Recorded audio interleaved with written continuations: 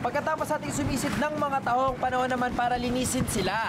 Kaya tuturuan tayo ni Mang Seryo kung paano ang tamang paglinis ng mga uh, lamig. Tahong! Let's go! Tay, paano po ba yung ah, tamang paglinis ng mga tahong? Ano po bang nililinisan dito? Ibig sabihin po ba madumi sila? O ano po yung tama? Ay! Ay!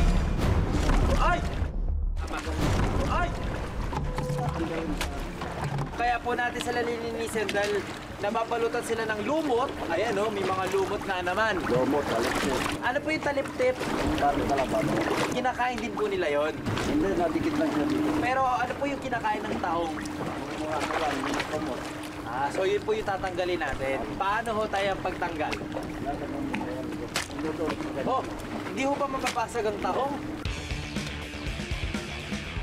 Talagang ah, mano-mano, isa-isa lilinisin mo yung tahong. Mahirap siya dahil kapag natanggal mo yung sinasabing puso o yung puso ng tahong dahil sa paglilinis, mamamatay ang tahong. So, itatapon lang siya. Hindi na siya fresh. So, may mga ganong ah, proseso na kailangang isaalang-alang ko sa paglilinis ng tahong. Ayan o, lumambot na nga. Tapos o, po. tubig o, igaganito ko. O, yun o. Maputik nga naman o.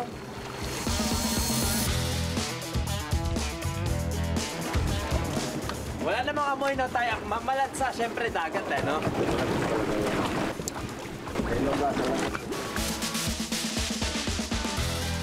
Mga kadeyo po, tulad nito mga to, ito yung tinatawag na talibi.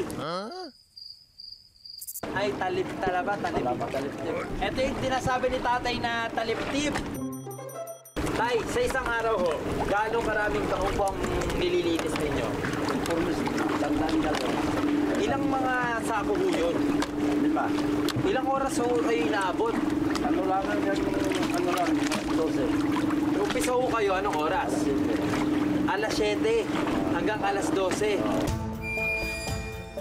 Hindi naman po siya dahil sa mga basura eh naapektuhan ng mga tao, nagiging marumi din ho sila.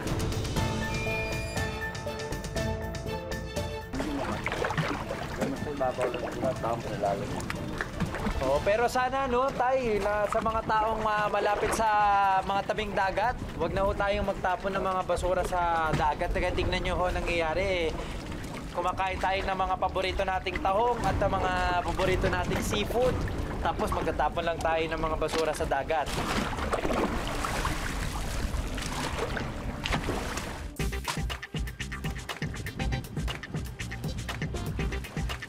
Si Ken, maayos din maglinis ng taong. Mabilis matuto ano, trabaho. Yung ginagawa ko, ginagawa din niya.